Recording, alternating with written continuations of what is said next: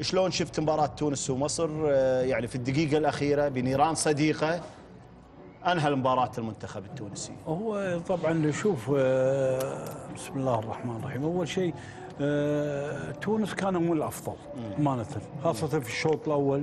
يعني مع الاستحواذ وعلى كل الأمور هذه كانوا هم الأفضل. نعم. لكن أنا أعتقد ال- الفريق المصري يعني يمكن ما ما بدا أنا أعتقد يمكن يأخذ على كروش إنه ما بدا ببعض اللاعبين الأساسيين المفروض يبتدي فيهم.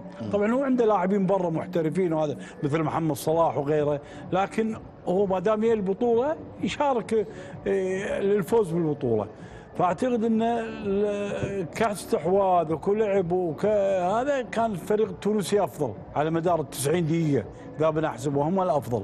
يعني أي. يمكن في فر- فرصة خطره ضيعوها الفريق المصري الانفراد هذه اللي ضاعت يمكن هذه يمكن كانت تنهي المباراه والهدف اللي شاته فوق العارضه لكن الفريق التونسي كان هو الأفضل. طبعا الفريق التونسي الزين الزين فيه إنه كان يتميز بالكرات الثابتة.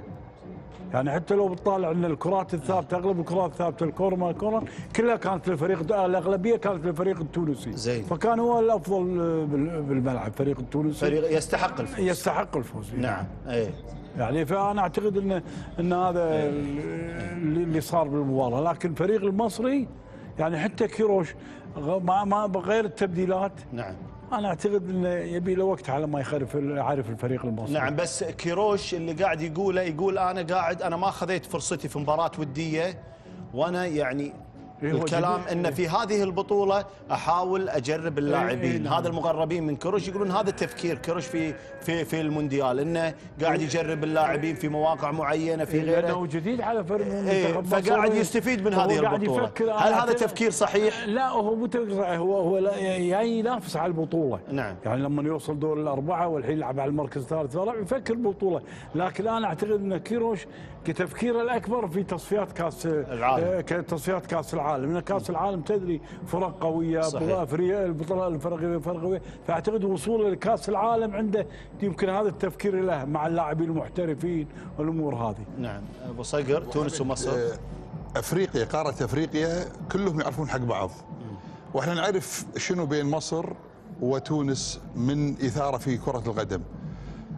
فريق التونسي فريق أكثر تنظيم وأنا طبعا أعتمد على التنظيم داخل الملعب. لما أقول إن فريق تونس راح يفوز أدري إن تن- تنظيمهم داخل الملعب يا جماعة التنظيم قضية جدا مهمة. فتنظيم قطر تنظيم آه، تونس كان أفضل بكثير. يعني حتى لو تشوف الإحصائية يعني شفنا في آخر المباراة شفنا الإحصائية كل الغلبة حق حق تونس. بالملعب شفنا تونس ضيعوا فرص كثيرة. حتى ال- ال- الدفاع المصري كان يعني مرتبك من الهجمات المتكررة والكرات السريعة والعرضية وإلى آخره وكرات الهيد أكثر شيء. يمكن يأتي الفرصة اللي قال فيها محمد حق فريق المصري لكن فريق كان مشتت فريق غير منظم. والقضية أيضا بين قوسين. التنظيم هو أساس اللعب السليم داخل الملعب. ففقد الفريق المصري التنظيم واستفاد الفريق التونسي من عدم تنظيم الفريق المصري والفرص المواتية له. وإن كان الهدف لكن الهدف أيضا كان أداة ضغط أيضا على على الفريق المصري. يعني أنا يعني أبو حسن أبو صقر أنا قاعد يعني أقول له أنا إن افشه كان في دخول مع الفريق المصري في الشوط الأول كان غير موفق.